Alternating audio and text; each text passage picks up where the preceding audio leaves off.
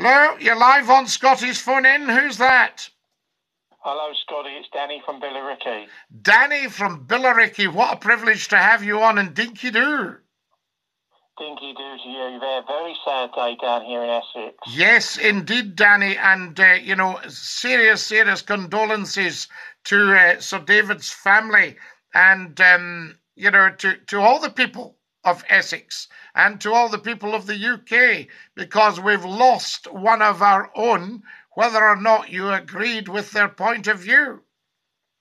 Yeah, well, I knew David really well, and um, he was um, years ago. He used to be my MP uh, before he moved to um, Southend West, um, and um, apparently he was a lovely was, guy.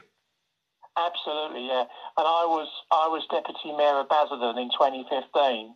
Wow. Um, and uh, I was sent out to Southend a few times on yep. jobs, and um, I, I used to bump into him quite a bit. And he was a, such a he was one of those guys that he could pick up a conversation with you and remember the last time you saw him. Yeah. You know, that's and, a um, that's a huge skill it's a huge skill to be able to do that. And, and he was such a lovely man. It was such a, um, as you know, I run a radio station, and uh, and it was such a, a shock this afternoon to get this, you know, this um, this breaking, re- revolving news throughout the whole of the afternoon. You know, and people have got their own stories of him, and um, I um, when I when I last saw him, I was out on a, a deputy mayor job, and the, the, the bus company were operating new buses, and um, he came up to me and he said, uh, "Oh, you're Danny from Basildon, aren't you?" And I said, "Yeah, that's right."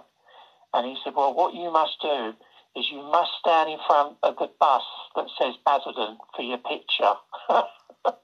Isn't that beautiful? And, yeah, and he took a load of photographs of of, um, of, of pictures. But one of my colleagues at work, John, said to me that he did his work experience at the House of Commons because he lives in Southend, and he did it at David Amess's office.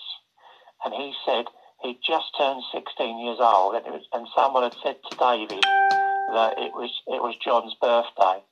And, and during the, uh, the lunch hour, David Amos came back with a load of cakes and, and and pop to celebrate this young lad's birthday. That's the type of guy that he was, you know. Yes, and a terrific so, human dynamo as well, tremendous energy.